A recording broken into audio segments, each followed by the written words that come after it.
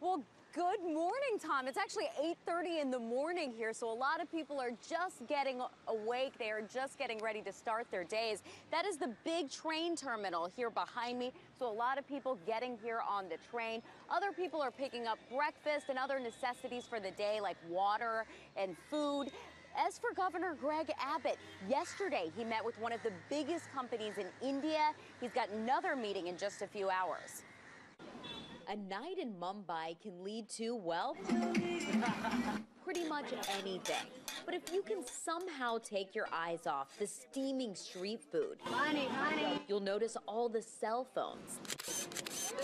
You can thank a company called Reliance Industries for that. They started a telecommunication company and have 150 million plus subscribers in 12 months, which uh, uh, is uh, bigger than combined of AT&T, Verizon, and Sprint. Reliance is one of India's biggest conglomerates, specializing in multiple industries, including telecommunications, oil and gas refining, and retail. You know, from Reliance Industries. Today, Governor Greg Abbott met with company leaders to discuss bringing more business to Houston.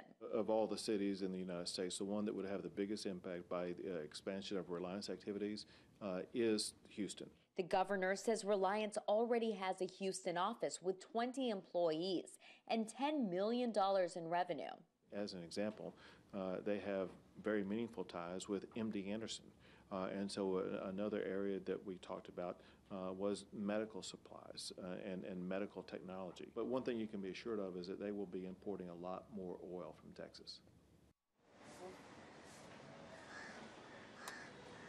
And we have just been having a great time out here. So has the governor. Take a look at what's going on right now.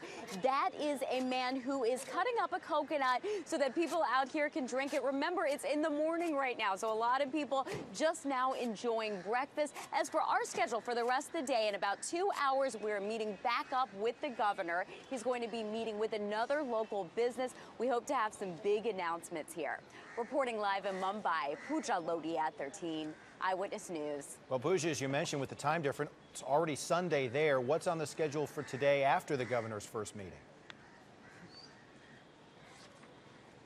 Well, I have to tell you, Tom, I keep getting mixed up with the times. We're talking about a 10 and a half hour time difference. So yesterday, the governor did meet with Reliance. That's one of the biggest companies in India. You just heard him talk about that. We're going to be talking to a tractor manufacturer in just a couple of hours. And what's really interesting is that that manufacturer has a lot of ties to Houston. We've actually seen some of those products on our streets. So it should be very interesting to hear from those business owners. All right.